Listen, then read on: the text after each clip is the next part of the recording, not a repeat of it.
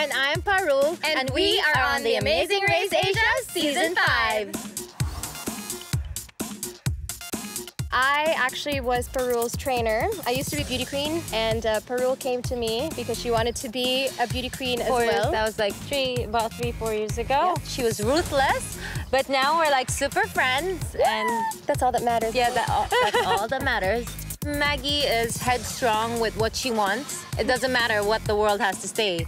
But if That's she has an opinion, if she wants something to be done her way, To it has to be done that way, or else all hell will break loose, and we don't want that to happen. She makes me sound like such a horrible person. No, no, I mean like she's, she, um, um, I'm just a girl that knows what I want, and I know what I have to do to get it. So I guess you could say competitive.